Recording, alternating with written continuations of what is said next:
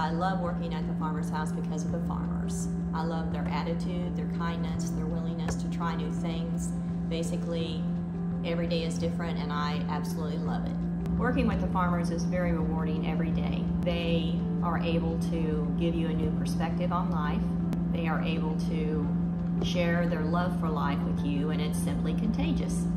It is so rewarding to work with the farmers because you just get to see their face light up as they try new things and experience new things.